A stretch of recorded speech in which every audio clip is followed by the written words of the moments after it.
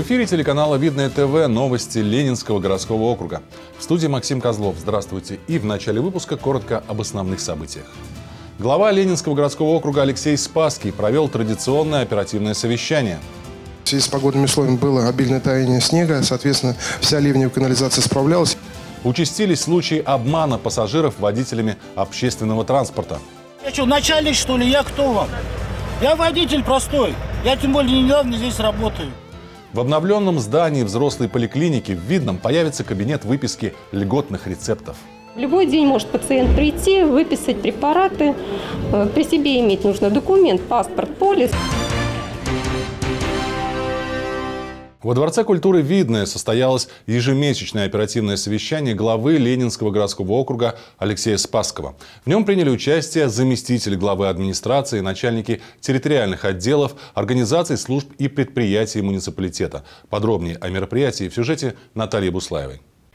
Ежемесячное оперативное совещание началось с награждения сотрудников строительной компании, которая занималась работами по установке мемориала «Стена памяти» на Аллее Славы в городе Видное. Разработкой монумента занималась э, наша компания совместно с Советом ветеранов. А, Все-таки основная идея исходила от них, и наша задача была попытаться ну, как-то визуализировать их мысли, их идеи. Далее была заслушана информация из единой диспетчерской службы. За прошедшие две недели в организацию поступило 1218 обращений граждан. Пожарно-спасательный гарнизон 49 раз выезжал на происшествие, из них 7 на возгорание.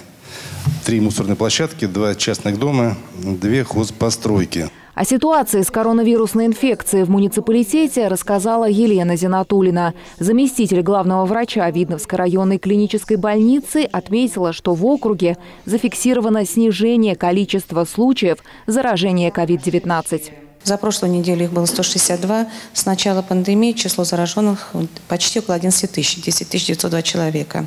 Количество выздоровевших пациентов за прошедшую неделю увеличилось на 266 человек, и их сейчас составляет 7841.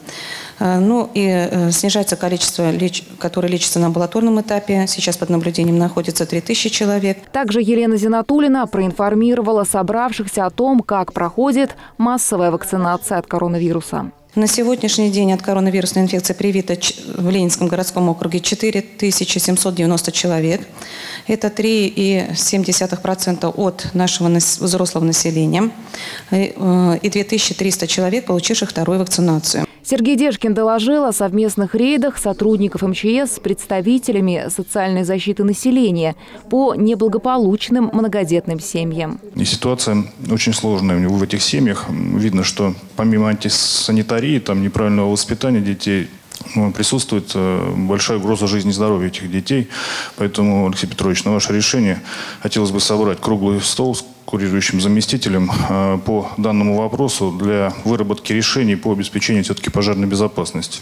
Из-за обильных февральских снегопадов дорожные и коммунальные службы муниципалитета продолжают работать в усиленном режиме. В дорсервисе на устранение последствий непогоды было задействовано около 65 единиц техники и 159 рабочих. За этот период э, э, в связи с погодными условиями было обильное таяние снега. Соответственно, вся ливневая канализация справлялась. Единственная просьба к управляющим компаниям все ливневые приемники отрабатывать в здоровых территориях. Ну, собственно, Дорсервис это делает. Сегодня первый день весны. Температуры в любом случае уже плюсовые, по крайней мере, днем. И то, что не было вывезено, где-то не доработали по снегу, теперь превращается в воду, надо помочь этой воде уйти. Поэтому, повторюсь, Елена Сергеевна проведет совещание, нужно акцентироваться на расчистки этих приемных сливных отверстий у ливневой канализации для того, чтобы все это достаточно технично и беспроблемно случилось. Также на оперативном совещании были заслушаны доклады о проделанной работе начальников территориальных отделов Ленинского городского округа. Наталья Буслаева, Сергей Ларин, Екатерина Давлятова, Видное ТВ. В Ленинском городском округе участились случаи обмана пассажиров водителями общественного транспорта. Под предлогом неработающего посттерминала они просят перевести деньги за оплату проезда на свою личную банковскую карту или телефон. Процедура незаконна. Чтобы выявить таких водителей, члены партии «Единая Россия» вышли в рейд. О результатах расскажет Юлия Погосян. Вы принципиально не принимаете по карте? Нет. Ну а почему перевод? Это же незаконно. Ну, если не проходит, карта не работает, а что делать? Так вы же говорите, работает. Вы только Терминал, что... да. Ну, если карта не проходит, то значит не работает у вас терминал. Значит мы едем бесплатно, правильно? Давай попробуем ваши листы. Картой стрелка или тройка, пожалуйста. Наличными милости просим. А вот вокруг оплаты проезда в общественном транспорте банковской картой через терминал постоянно какие-то проблемы. В городских социальных сетях регулярно поднимается эта тема. Ее обсуждают недовольные и обманутые пассажиры. Э, Только что водитель сказал, что э, карту не принимает, но как увидел камеру, не проходит. Вот, как увидел камеру, сейчас э, сразу же говорит о том, что давайте попробуем карту, может быть у нас получится. И действительно получилось. На лицо очевидный обман. А ведь при оплате проезда банковской картой при списании средств учитывается скидка. Но то ли перевозчику, то ли водителю невыгодна такая ситуация. Они упростили задачу. Просят пассажиров перевести за проезд через мобильное приложение банка по номеру телефона.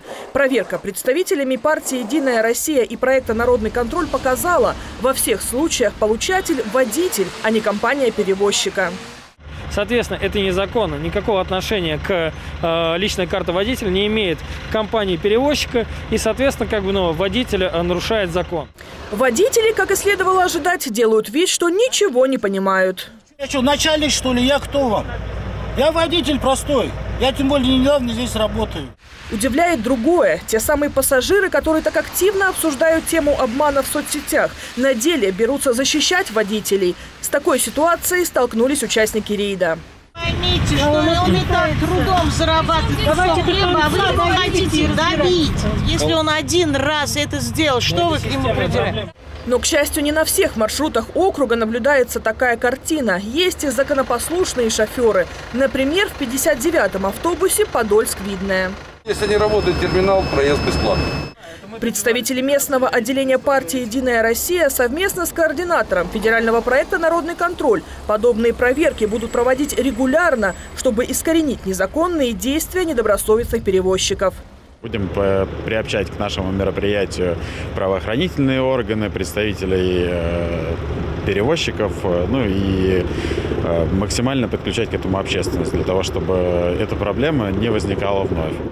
Участники рейда уверены, теперь водители будут осторожнее, ведь в следующий раз под видом простого пассажира может оказаться представитель правоохранительных органов. Юлия Погосян, Кирилл Иванов, Сергей Ларин. Видно этого. В обновленном здании взрослой поликлиники в Видном появится кабинет выписки льготных рецептов. Это позволит существенно разгрузить лечащих врачей, а льготникам быстро и удобно получить необходимые документы. Тему продолжит Екатерина Борисова. Совсем скоро после ремонта откроет свои двери взрослая поликлиника в Видном. Работа уже находится в завершающей стадии. В обновленном здании появится отдельный кабинет выписки льготных рецептов. Чтобы пациент не стоял в общей очереди просто для того, чтобы выписать рецепт.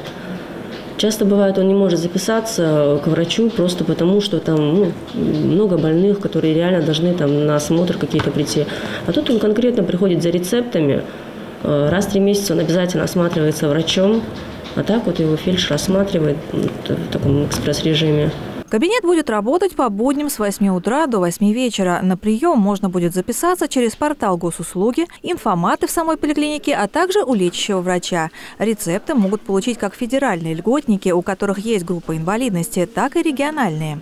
Это и онкологические, и диабетики, и бронхиальные астмы, и по хронический панкреатит. Их очень много этих пациентов, которые на диспансерном учете состоят. Сейчас же, пока взрослая поликлиника временно располагается в здании детской, льготные рецепты можно получить на сестринском посту на втором этаже. В любой день может пациент прийти, выписать препараты.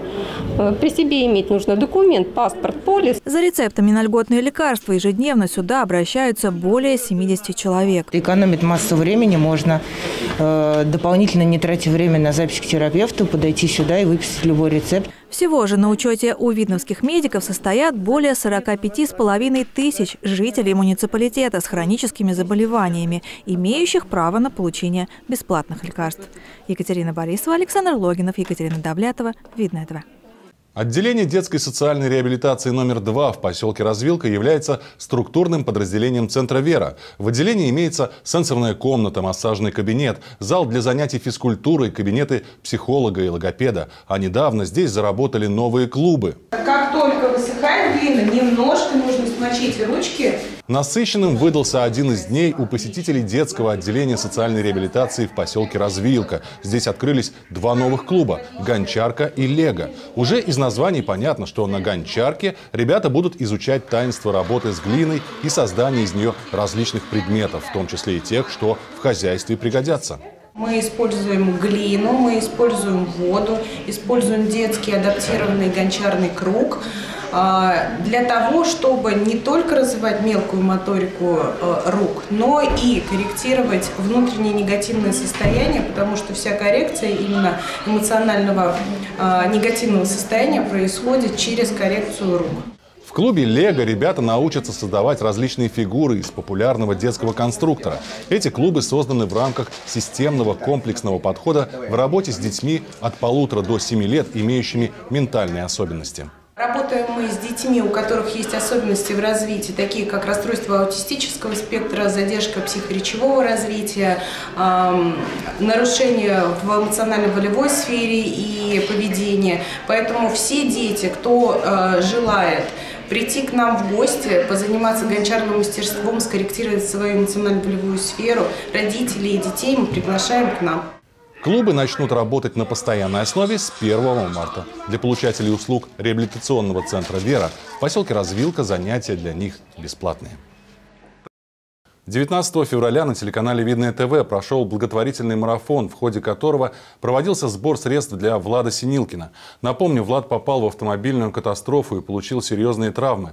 Сегодня у нас в гостях инициаторы марафона с предварительным итогом сбора средств для мальчика. Депутат Ленинского городского округа, председатель торгово-промышленной палаты округа Владислав Рымша и исполнительный директор отделения торгово-промышленной палаты округа Максим Арапов. Здравствуйте. Здравствуйте. Здравствуйте. Скажите, правильно я понимаю, что сбор средств идет до сих пор, то есть средства поступают на счет? Ну, в рамках марафона средства поступали до 28 числа, вот, э, но уже сегодня 1 мая, марта, и, в общем-то, деньги до сих пор поступают. Действительно так. А, а существует какой-то вот средний, э, средний, скажем так, чек пришедших денег, и сколько всего на сегодняшний момент людей э, совершили пожертвования? Ну, количество людей, которые сделали подобное пожертвование, их на сегодняшний момент более 300 человек. Вот. Суммы разные, от 500 рублей и заканчивая 200 тысячами рублями. Угу. Ну, а можно ли составить какой-то вот некий, может быть, социальный портрет человека? Что это? Это предприниматели, это обычные люди, это, там, не знаю, медики, это женщины, это мужчины. То есть есть какой-то или совсем никак? Ну, сложно определить. Э, самое главное, это те люди, которые действительно неравнодушны к судьбе Владислава, и э, те люди, которые действительно переживают и вот таким образом пытаются его поддержать. Угу. Ну, я знаю, что уже какие-то суммы э, отправляются для того, чтобы покупить, купить какие-то средства реабилитации. Так ли это? Да, действительно, вот на собранные средства уже была приобретена, сделана первая покупка, была приобретена коляска для Владислава, действительно серьезная именно для семьи, для Владислава покупка, потому что без данной коляски ему сложно передвигаться. Данная коляска сто, обошлась 190 э, тысяч рублей. А всего, вот, наверное, самый главный вопрос, сколько всего было собрано и какова сумма, может быть, необходимая была Дойдет ли до этой суммы в конце концов? Ну, мы вообще рассчитывали, что мы дойдем до миллиона рублей. Вот такая была цель. На сегодняшний момент собрано более 800 тысяч рублей. Вот. Но я надеюсь, что если деньги до сих пор поступают, и наверняка они будут поступать, э, скорее всего, мы до этой суммы доберемся. А как люди, вот помимо нашего марафона, понятно, там, э, скажем так, били во все колокола, и понятно, что люди видели это, и э, люди отправляли деньги. Сейчас, на ваш взгляд, как люди узнают об этом? Это какое-то сарафанное радио или что? Ну, Максим. Да, это уже на самом деле сопереживающие люди, которые отправили деньги, это активисты, общественники, депутаты нас поддерживают в социальных сетях. Они уже распространяют через свои контакты, через э, свои социальные сети а, сегодняшнюю повестку, и, соответственно, оттуда уже поступают денежные средства, так как Владислав правильно сказал, что 28 числа мы свой марафон и э, оповещение прекратили, но люди подхватили эту волну, и по сей день, даже на сегодняшний день уже идут те же самые поступления, не останавливаются. Угу. Ну, я думаю, что на самом деле и наша вот эта небольшая встреча, вот это определенное подведение итогов тоже, может быть, окажет какое-то информационное воздействие на людей, и кто-то, может быть, тоже посмотрев наши новости, решит сделать вклад в доброе дело. И я предлагаю вам, наверное, обратиться к людям, может быть, с какими-то добрыми словами, со словами э, с одной стороны, благодарности, а с другой стороны, может быть, призыва принять участие в этой замечательной, на мой взгляд, акции. Э, дорогие друзья, общественники, люди э, общественного мнения, лидеры общественного мнения, э, депутаты, люди, которые неравнодушны, телеканал «Видное ТВ». И у нас очень много разных направлений, кто этим занимается. Дарья Филатова. Всем вам огромное спасибо за помощь, за поддержку. Без вас мы бы не справились, это совершенно точно. Э, я хочу сказать, что мы занимаемся хорошим делом. Вам огромная благодарность. Ну и, соответственно, нашему бизнесу это отдельные слова благодарности, которые э, никогда не остаются в стороне, не остаются равнодушными. Это социально активный бизнес, э, социально ответственный бизнес. Вам отдельная честь и хвала. Спасибо. Хотелось бы слова благодарности сказать жителям нашего города, ну не просто города, наверное, да, а, жителям нашего Ленинского городского округа, потому что действительно а, беда нас объединяет, и вот а, то желание помочь, которое возникло у людей обычных, да, которые присылали деньги на расчетный счет, на карточку отправляли, это, конечно, достойно похвалы. Поэтому я хотел бы поблагодарить всех, кто принял участие в судьбе Владислава, и э, также хотел бы попросить, чтобы по окончании данного марафона все-таки помощь Владиславу не заканчивалась, и люди должны продолжать всячески помогать не только деньгами, но и, скажем так, психологически и морально. Поэтому большое спасибо всем, кто принял участие в жизни Владислава и помощи. Ну, я в свою очередь, наверное, тоже хочу сказать от своего лица, от лица своих коллег, э, сказать спасибо вам, как инициаторам этого замечательного марафона, и спасибо сказать всем тем людям, которые приняли в нем участие. И спасибо вам, что пришли сегодня к нам на эфир. Спасибо. А я напомню, что мы беседовали с депутатом Ленинского городского округа, председателем торгово-промышленной палаты округа Владиславом Рымшей и исполнительным директором отделения торгово-промышленной палаты округа Максимом Араповым. К другим новостям. Одним из вариантов проведения досуга выходной день может стать посещение концертов в историко-культурном центре. На этот раз со сцены прозвучали любимые песни видновчан старшего поколения. Подробнее о мероприятии расскажет Дмитрий Книга. В районном историко-культурном центре состоялся концерт для жителей муниципалитета.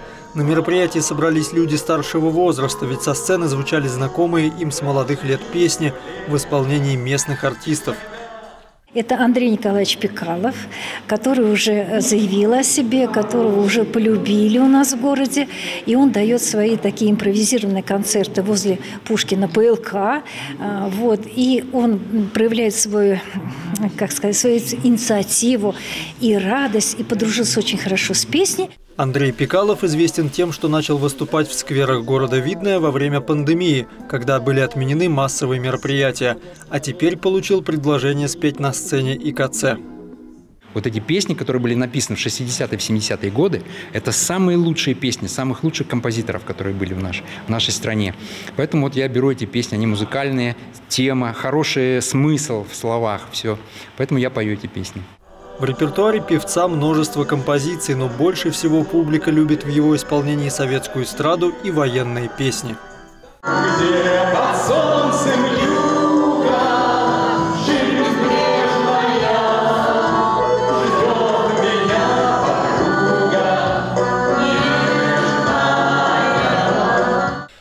Также перед собравшимися выступила Александра Головина, солистка оркестра народных инструментов под управлением Владимира Глейхмана. В ее творческом арсенале главное место занимают русские романсы. Дочь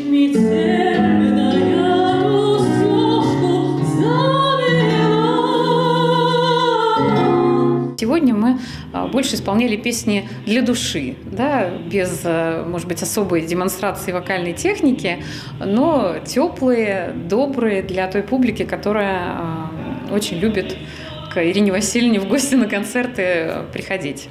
Пришедшие на концерт зрители подпевали, аплодировали артистам и благодарили организаторов за проведение концерта после длительной паузы, вызванной антивирусными ограничениями. У Ирины Васильевны всегда все замечательно проходит. Любая тематика, люби, лю, она с любовью к этому относится. Сама на пианино играет и поет она хорошо. А сегодня вообще русские народные песни, в основном старые песни, которых мы уже забывать стали. Он нам очень близко, этот репертуар, потому что мы выросли на этом, можно сказать. Песни очень хорошие, душевные. Узнать о будущих мероприятиях историко-культурного центра можно в афише на сайте и в социальных сетях учреждения. Дмитрий Книга, Кирилл Иванов, Елена Кошелева. Видное ТВ. И это все новости на сегодня. С вами был Максим Козлов. До встречи.